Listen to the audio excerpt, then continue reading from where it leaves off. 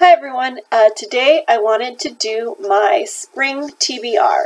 So I usually don't do a monthly TBR because uh, when I was doing monthly TBRs I found myself like going off in other directions and stuff like that. So I do seasonal TBRs, so here's my spring one. And the first book that I would like to read during the spring is Sally Green's uh, The Smoke Thieves. It's a fantasy book. It's an arc I got in the Luma, Lumicrate uh, box, and it seems really interesting. Uh, the front says a princess, a soldier, a hunter, a traitor, a thief.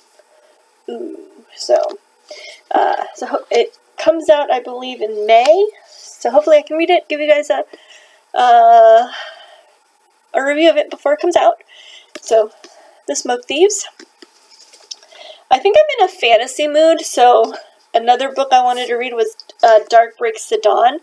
Uh, this is the first book uh, by Sara Larson, and it is a uh, Swan Lake retelling. So that's kind of interesting.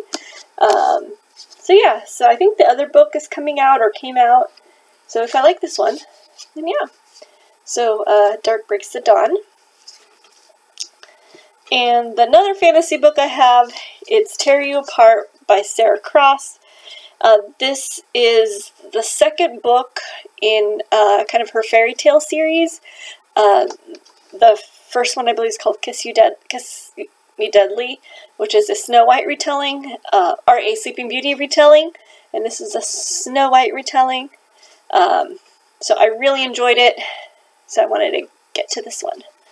So I think it could be a duology, but I was hoping that there'd be a third book. So here's that one. And another book that I wanted to read during uh, the spring, I'm determined to read it, and it's Cleopatra by Stacy Schiff. I kept putting it on my other TBRs and just never got to it, so I just really want to get to this one. It's kind of a biography, semi-biography of Cleopatra.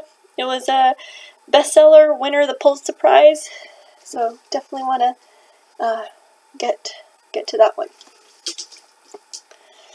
And the last book that I wanted to read was Secret of a Heart Note by Stacey Lee. Uh, it seems kind of very springish. Um, it's about a girl, she makes potions, so with plants and stuff like that. And then she gives the wrong potion to the wrong person, so she has to kind of uh, make everything right. So, here are the books that I want to read during the spring. Um, let me know what books you would like to read uh, during this time period. Um, anyway, hope you uh, like and subscribe, and I will talk to you guys later. Thanks. Bye.